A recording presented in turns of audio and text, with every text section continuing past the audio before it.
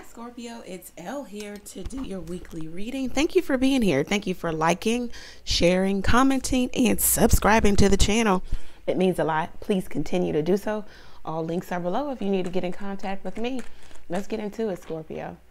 Thank you, God, for blessing Scorpio with a clear, concise message from you. All right, so let's see what's going on here in terms of love. All right, Page of Wands. You could be meeting someone new. This also could be reconciliation, right?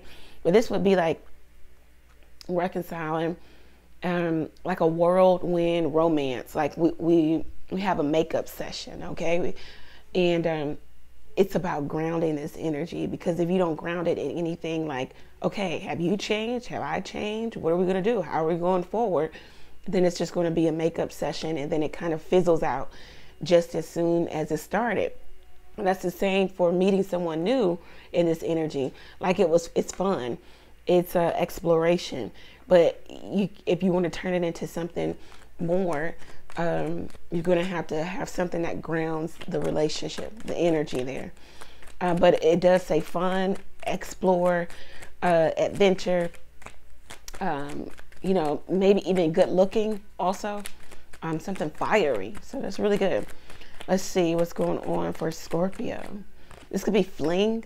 Yeah, with the high priestess. Um, so you could be in, engaged in some sexual, uh, you know, behind the scenes relationship. It could be third party, or it could just be without a title.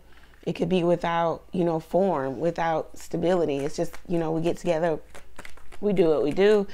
Uh, and there's somebody playing their part too with the high priestess. Like they're not, um, they're not doing too much. There's not too much activity and too much um, you know, uh, hanging out and wanting to make it like a girlfriend experience or a boyfriend experience there. It's just more so somebody, there's an understanding here. And if there is no sexual activity happening, then it's somebody who wants to make up with you and they're finding you irresistible, desirable. They just want you because you are not engaging with them. Your your eyes are not set on them and you're not doing anything in order to get their attention, but they really want yours. All right, so let's see what's going on. Yeah, King of Swords. That could be you, uh, Scorpio, especially if you're a Scorpio man. Um, somebody could have Capricorn in their chart also, um, Libra.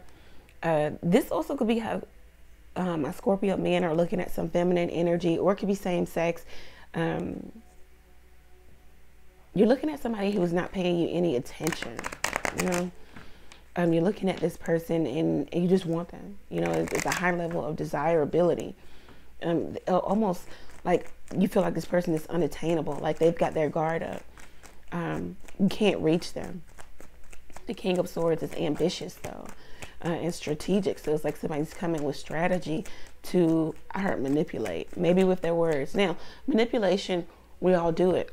Um, you can manipulate with your words. You write an essay and it's supposed to be in persuasive form. Then you're manipulating the audience the, the reader of the essay, uh, maybe hopefully to shift their perspective, shift their way of thinking. You're trying to persuade them. So you're manipulating with your words. So we all manipulate at times. So I don't know, it could be just manipulation in terms of maybe shifting the energy between the two of you, Scorpio.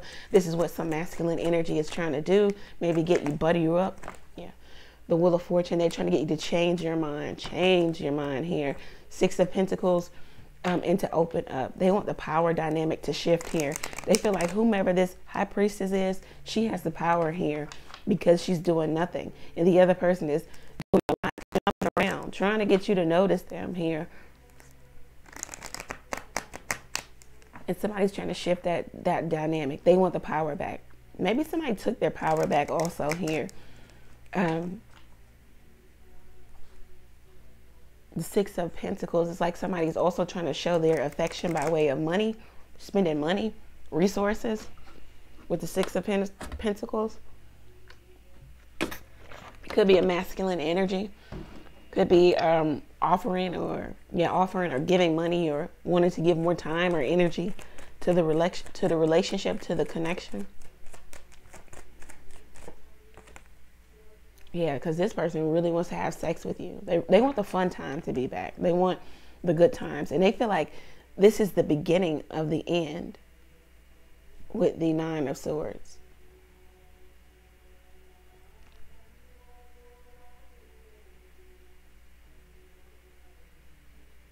I'm trying to figure out why the video is not moving.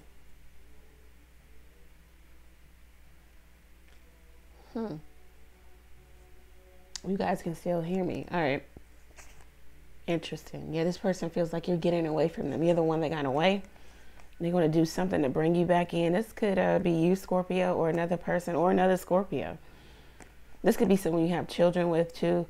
Could be uh, Sagittarius. Somebody really wants you back. They don't want this to be over. This is interesting. The video's not moving. You can't see the cards. All right, so let's see what um, career and finance provides for you, Scorpio. Career finance for Scorpio. Is that like on freeze frame? It shouldn't be. All right, let's see. Career finance for Scorpio. Wow, the Ten of Pentacles. So uh, money looks good. Okay. Um, it looks like you're engaging in something that's going to bring you long term stability. Ooh. Um, three of Pentacles because you're doing the right thing. Wow.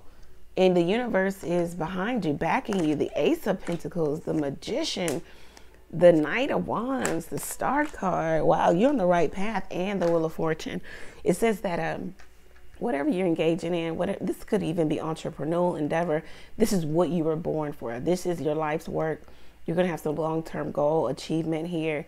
Uh, your fortune is changing because um, you're doing what you're supposed to be doing. Your hand is blessed here with the Three of Pentacles. It says the feminine, masculine energy with the divinity or the divine holding that together there. So it's like um, you're you're doing the right thing and you're getting the recognition you deserve because uh, and you're presenting a high high quality uh, product service here. Uh, money could be coming to you a windfall, maybe a payout you're manifesting this. Maybe so that you can make another move in terms of your career your finance here the star card and the wheel of fortune a big wish a big dream coming to you scorpio. This looks really really good. Um, if it resonates for you let me know how it resonates for you down in the comment section go over to the website book there i'm so sorry that the video stopped but the the audio is still going um, you can also catch me live every Tuesday, Thursday, and Sunday night, 9:30 p.m. Eastern Standard Time, where I do collective reading, and you can also ask questions. So come for the live. You'll be notified of the live when you click that little bell button and you subscribe to the channel. So thank you guys. Many blessings to you. Take care.